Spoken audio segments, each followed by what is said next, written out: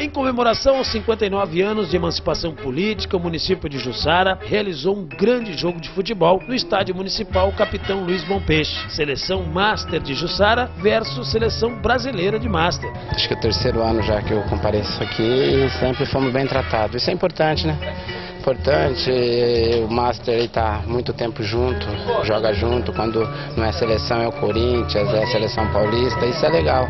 É um momento legal nessa confraternização, onde você reúne vários jogadores né, que jogaram em outras equipes também. Então isso faz com que a gente é, cresça espiritualmente, né, como, como homem, como, como pai né, de família, né, um respeitando o outro. Porque hoje está todo mundo meio barrigudinho, né? Então, mas dentro de campo é, a rivalidade existe, ninguém gosta de perder, mas, mas o importante é essa festa, essa confraternização. Eu fazia 35 anos que eu não entrava nesse campo, 35 anos atrás. Então, um prazer muito grande, está muito bonito o gramado, a cidade está maravilhosa.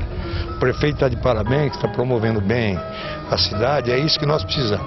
De gente que, que se dedique, que faça alguma coisa pelo povo que tem em casa. Ontem, né, uma festa maravilhosa e hoje encerramos aí. O placar não foi aquilo, né, o esperado. Corri um pouquinho ainda, matei a saudade, mas o que importa, eu trouxe aí grandes feras, grandes nomes aí, né, Birubiru, João Paulo, Zenon, Tupanzinho. São pessoas que as pessoas aquilo que viu só pela TV e hoje eu trago ao vivo aí para as pessoas terem a oportunidade de estar conhecendo essas pessoas pessoalmente.